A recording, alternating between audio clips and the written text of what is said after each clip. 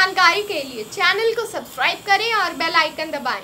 नए साल के मौके पर बाहुबली स्टार प्रभास ने अपने फैंस को दिया एक बहुत ही बड़ा गिफ्ट। जानिए, आखिर क्या है ये गिफ्ट? दरअसल बात यह है कि प्रभास अपने नई फ़िल्म के साथ एक पोस्टर सामने लाए हैं और उन्होंने ये पोस्टर शेयर किया है इंस्टाग्राम पर, जिसके बाद से वो पे काफ़ी तेज़ी से वायरल होता हुआ नज़र आ रहा है।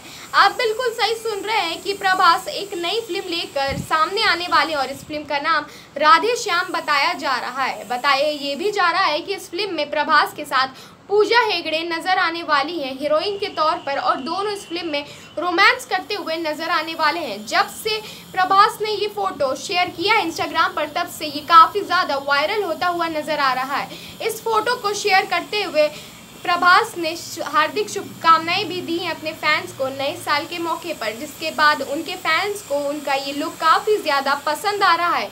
और प्रभास के सारे फैंस उनकी नई फ़िल्म को लेकर काफ़ी ज़्यादा एक्साइटेड नज़र आ रहे हैं। जैसे उनकी बेहतरीन पिक्चर बाहुबली और साहो ने कमाया है, वैसे ही उनके फैंस ये भी सोच रहे हैं कि इतना ही धमाकेदार राधे श्याम भी रहेगा, जिसके बाद उनका उत्साह काफ़ी ज़्यादा बढ़ता हुआ नज़र आ रहा है।